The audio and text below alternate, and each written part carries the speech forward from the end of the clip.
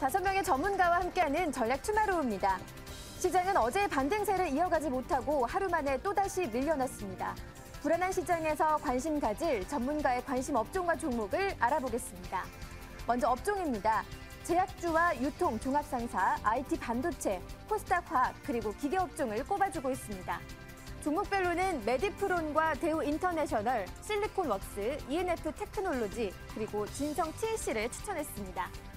그럼 먼저 세명의 전문가 의견 확인하겠습니다.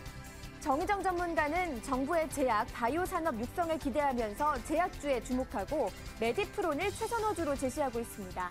치매 환자가 급증하면서 치매 치료제를 개발하고 있는 메디프론의 성장세도 기대된다면서 목표가로 4,500원을 제시했습니다. 김민수 차장은 종합 상사업체 대우 인터내셔널에 관심을 두고 있습니다. 미얀마 가스전의 본격 생산으로 인한 모멘텀이 있는 종목이라면서 목표가 4만 5천 원, 손절가 3만 8천 5백원으로 대응해보자고 밝혔습니다. 정수경 대리는 모바일 반도체 수요 증가에 따라서 IT 반도체 업종에 주목하자면서 탑픽으로 실리콘 웍스를 꼽았습니다. 고해상도 패널 수요 확대로 매출 비중이 확대될 것으로 예상을 하고 목표가로 2만 5천 원을 설정해줬습니다. 자, 종목에 대한 의견 듣고 있습니다. 다섯 명의 객장 전문가가 어떤 의견을 보내는지 앞서서 이제 브리핑을 함께 들어봤고요. 정재웅 부지점장의 구체적인 의견 함께 듣겠습니다. 유진투자증권 도곡역 지점으로 가겠습니다. 부지점장 연결합니다. 안녕하세요. 네, 안녕하십니까? 예, ENF 테크놀로지 가지고 오셨는데요. 자세한 얘기 좀 들어보겠습니다. 네, 어, ENF 테크놀로지는 이제 IT 재료, 부품이다, IT 재료 업종이다 이렇게 보시면 되겠는데 특히 이제 어, LCD용 시가객을 어, 주력 품목으로 하는 업체입니다. 근데 이게 그 일, 작년 LCD 업황이 안 좋았음에도 불구하고 어, 작년 세상, 사상 최대 이익과 영업이익과 매출을 기록할 정도의 탄탄한 뭐 실적을 보유하고 있는 업체이고 올해 같은 경우는 LCD 업황이 작년보다는 좋을 것으로 판단이 됩니다. 그래서 어, 실적 호조세가 어, 이어질 것으로 판단이 되고요.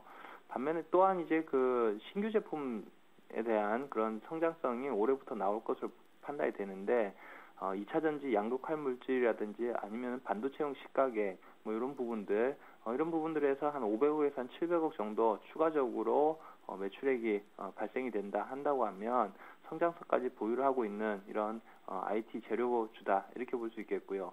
어, 이렇게 본다고 하면 뭐 IT 업종이 지금 주도 업종으로 뭐 그, 꼽을 수 있겠는데요. 어, 그 중에 저평가된 어, 업체가 아닌가 어, 이렇게 판단이 됩니다. 그래서 지금 시점에서는 매수 관점으로 대응을 해도 충분한 주식이다 하는 판단이고요. 어, 차트를 보면서 매매 전략을 좀 말씀을 드리면 지금 주가 흐름이 이제 그 작년 호실적에 따라서 작년 연말 쪽에 15,000원까지 갔다가 지금은 11,000원까지 지금 어, 조정을 받고 있는 상황이고요. 이것이 이제 어, 1분기가 IT 쪽의 비수기이다 한다고 하면은 1분기 비수기 쪽에서 어, 조정을 받았다 실적 부분에 대한 그래서 2분기 쪽에서의 성수기 어, 모멘텀이 이제 발생이 될 시기다 이런 판단이고요.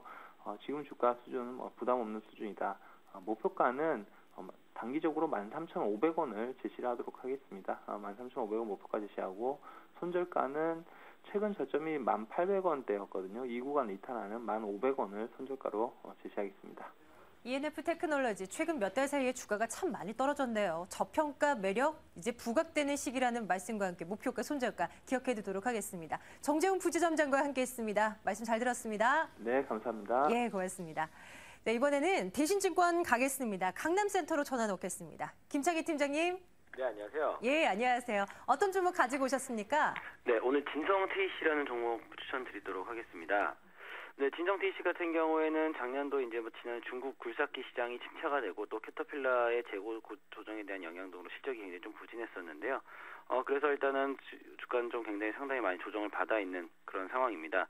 어, 올해는 전임적으로 실적이 회복될 것으로 일단 예상을 하고 있는데, 어, 중국 도시와 관련해서 인프라 설비 투자가 이제 하반기로 갈수록 굉장히 회복될 것으로 예상을 하고 있습니다. 따라서, 어, 세트 업체들도 재고 조정이 올해 상반기로 마무리될 것으로 일단은 생, 어, 예상이 되고요. 중국 굴삭기 판매량이 전년 대비해서 일단 상반기 한 6% 정도 증가할 것으로 예상이 되고 있는. 상황이기 때문에 그동안에 악재로 작용했던 중국 굴삭, 굴삭기 판매량이 이제 서서히 회복되는 그런 단계가 아닐까 생각이 됩니다. 어, 그리고 캐터필러와 5년 동안은 3천억 정도 규모의 3차 장, 독점 장기 공급 계약을 했기 때문에 어, 미국 쪽에서도 어느 정도 수혜가 나올 것으로 예상을 하고 있고요.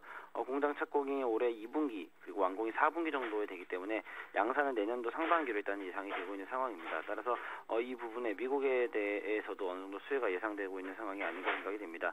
어, 올해 영, 실적은 어, 매출액이 한 1,970억 정도로 전년 대비 한 10% 정도 증가할 것으로 예상을 하고 있고요. 영업이익 같은 경우가 148억으로 전년 대비해서 한 63% 정도 증가할 것으로 예상을 하고 있습니다. 따라서 어, 영업이익이라든가 순이익이 굉장히 큰 폭으로 성장을 하는 그런 상황이기 때문에 지금 현재 주가에서는 한번 매수를 해볼 만한 구간이 아닌가 생각이 됩니다. 따라서 그동안 굉장히 어, 2월 3월에서 횡보하는 추세를 보이면서 어느 정도 상승 모멘텀을 좀 마련하지 않았나 생각이 됐고요. 목표 가격 만 원대까지 정고점 부근인 만 원대까지는 1차적인 상승 나오지 않을까 생각됩니다. 손절 가격은 7,500원으로 제시해 드리도록 하겠습니다. 오늘 장에서도 흐름이 참 좋았습니다. 2% 올라선 진성 TC 점검해봤습니다. 목표가 만원 선으로 책정해 주셨네요. 김창희 팀장님 오늘도 말씀 고맙습니다. 네, 감사합니다.